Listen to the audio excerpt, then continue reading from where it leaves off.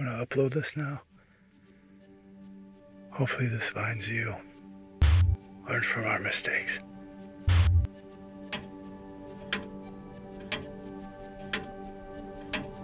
I thought maybe, since it's been a year, you might want to talk about what happened to your sister. There's a body up on 49th. Uh, dispatch says they're short staffed. It really just looks like he keeled over and died.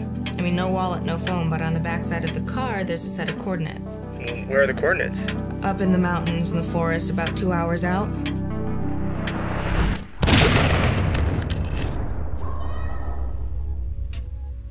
So you took my old case, and you won't let me help find my partner. What am I supposed to tell his wife? I don't mean to burden you with whatever I'm feeling. I just, I know that you did everything you could. Guilt can manifest itself in all, in all these weird and, and crazy ways. Keller's death. Technically missing.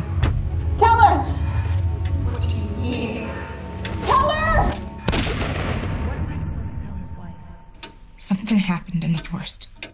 I feel like I let him down. I just need to solve this case.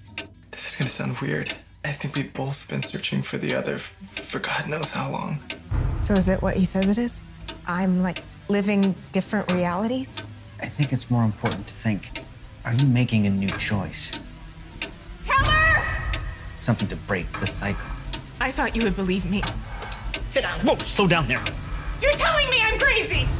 I mean, since before this, I've been making the same mistake over and over again. So yeah, good to get my life back.